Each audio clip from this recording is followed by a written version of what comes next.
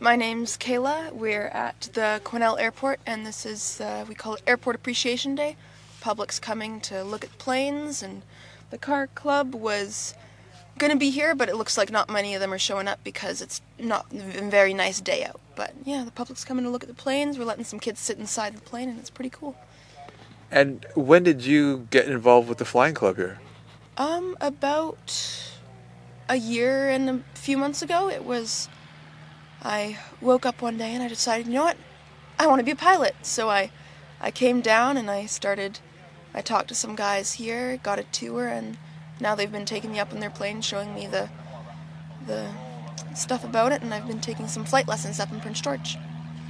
So truly, it was um, just one night you didn't think about it, hadn't, and then the next day you're like, "This is it." Not, no other inspiration, or No, I don't. I don't really know. I think there was. Oh, there was this one time where there was a, like a work BC, I think it was, thing that came to our school, and there was a flight simulator there, and I got to use it, and I was. I thought that was really cool.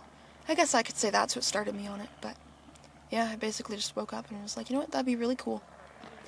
And tell me about the the process so far that you've been through, and that maybe that's ahead for this the training that you need to do. So I um I'm in cadets, so that helps. I get a little bit of training out of that. I can get my license through cadets, but it's a lot of it's it's like a competition. You have to compete with other people to be able to get into the programs and stuff. So what I've been doing is I've been going up to Guardian Aerospace in Prince George, where I've started a ground school, which I completed. I'm taking it twice just to get the information a bit better and so I do that, pay a bit for that, do the school. I do it online. Um, and then I go up there once in a while and do some flight lessons. And I go up in the plane. They teach me like certain certain things every time, and soon we'll be starting to learn stalls and stuff and how to get out of them. And I think that'll be pretty fun. Um, sometimes I hear flight school, you know, about hours that you need to put in. Um, what are the hours of ground school versus in the air that you know of that needs to happen? Well, I'm pretty sure it was, from my recall, it was like around I think it was 45 hours ground school, which is just like on the ground book stuff, book work, and and then in the sky if you want to solo, so fly your plane by yourself. I'm pretty sure, um, not 100% sure though, so uh, that it's 10 hours to solo, but you probably end up needing more than that just because you gotta you gotta learn stuff. You gotta make sure you're confident in it, and then to um, get your private, I'm not. I forget how much exactly, but I'll probably end up needing like a lot of hours, like in the hundreds probably before I I, I will be confident enough because it's it's a flying machine. You can't just pull over.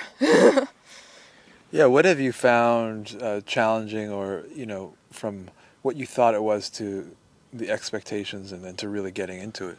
It's it's a lot of it's a lot of work. I'm in I'm in grade 10 right now, so I have school on top of all my flight stuff. And it's it's like 45 hours of ground school is a lot to comprehend. comprehend. Like there's a reason why not you don't normally see teenagers in planes. It's it's a lot of information. I think the most the hardest part is just being able to to comprehend it all and remember it all because it's just it's just so much. Um, is there a good equivalent, or is there something in school that's helped you? Like, is math helpful, or I don't know, science? Um, I've found math can be helpful, yeah, because there's a lot of like little equations you need to know for like weight and balance and like where the center of gravity is, and you have to like know the weight of the plane and the weight of everything in it, so you know where everything needs to be and how how long you can fly on a one tank of gas, and it's so math helps a lot. And then I'll be taking physics next year, so that'll be that'll be really helpful for it. Um, I hear. Is this the plane you've spent the most time in? What can you tell me more about this particular plane?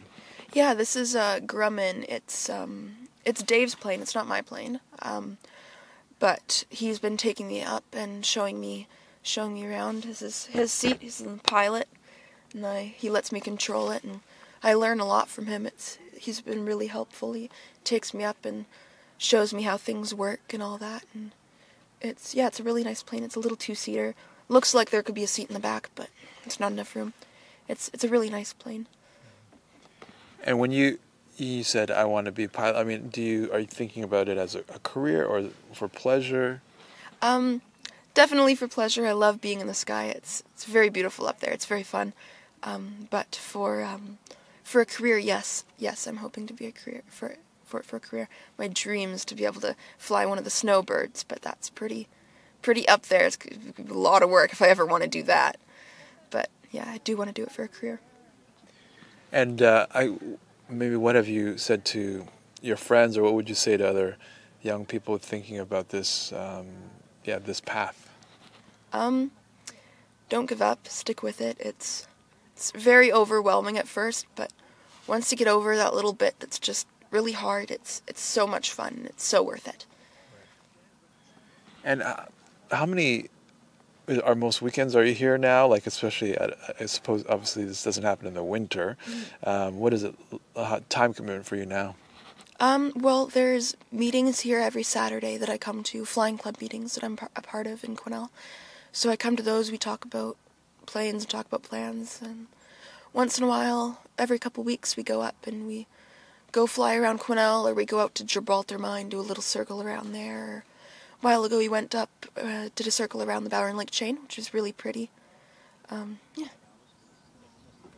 And um, I met your mom. Are your are your parents involved in this at all, or were, or now, or have they just learned alongside you?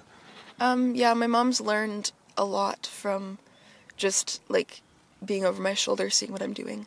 But um, yeah, they, they they're not pilots. I think my mom thinks maybe my like great grandpa used to be a pilot. She she's pretty sure. But other than that, I'm the first one. These are the controls, the main controls, the yoke. Um, these you push it up and down, and it controls the the. Oh, look at me forgetting the words. But if you look back there, if you t- t- take a film back there, if you see me pulling these back, that moves, and that's what moves the plane up and down. And then if you move it side to side, it moves the flaps on the side. That's what we how we turn the plane in the sky. This here button here, I master's off so I can press it. It's how you communicate with air traffic control, which is all the guys up in the tower. We don't have one here, so we communicate with Williams Lake. Um, this is the mixture, the throttle, so speed and stuff. Um, right here is the fuel gauge, so this shows us how much fuel is in each wing. There's one on each side. Um, radio, all that. Um, this is the power here, and if I had the keys in my pocket, put them in here, and that's how I can how I control the pe- propeller. Turn it on. Um, this is the altimeter.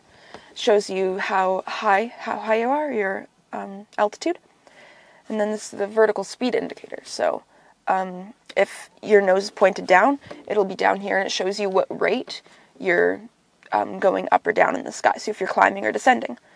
Um, this shows how many rotations the um, the propeller is doing. Um, this is the artificial horizon. It's a little wonky right now because we're on the ground, but it shows um, where you are in, um,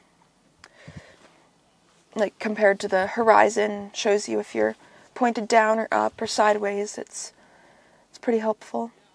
Most of the time with me though, I just look out the window and figure that out. That's the compass. And then this is a little clock. It's not on right now. And then this, if I turn this on, it turns on the um, gyroscope that's inside. And then it, that's, that's the um, spinning noise. I don't know if you can hear that on there. And then put the headset on and you can communicate through there. You could hear it. You could hear yourself speak when you speak into this, but you have to have it really close to your mouth, which I find very annoying, but it's pretty cool. But yeah, let's turn that off there. And is this set up pretty standard across the board in terms of the airplanes you see here? Oh yeah, all of this stuff. It's this is what you see in every plane. It's all the same. Every plane is has this. The commercial planes obviously have like way more buttons and stuff, and normally digital screens. But for the basic small private planes, this is mostly what the setup is in every plane. And I guess are are the yokes always connected th- that way, where there's a pi- pilot co-pilot? I guess. Yeah, some planes um, most pl- there, there's a lot of planes that are like two seats, and then the controls you move one, the other one moves. But in other planes, there'll be like one seat behind the other, and it's the same sort of deal. There's a there's um, one of these in the back, but normally it's not one of these. It's a a stick one, but then it's in the front and the back seat. But yeah, there's there's always two in the front if it's a if it's a two seater like this, or one in the front, one in the back. Awesome. Thank you. Yeah. And maybe what is that? Is that for navigation? Oh, this, yes, this is the navigation. If it was on, there's a. I don't know if I could turn it on. There we go. So on, you could see, um. Tells me not to use it as my primary source of navigation. Gotta make sure I know my maps and stuff. Um, you can see the map there, and that's the little plane. And it'll show me I can I can program it so like if I'm way out towards Barkerville, I can program it to tell me this there'll be there'll be a line and it'll be basically a straight line right back to Quesnel. Depending on how I program it. Yeah, it's pretty cool. It's just digital map, GPS. Yeah, turn it off.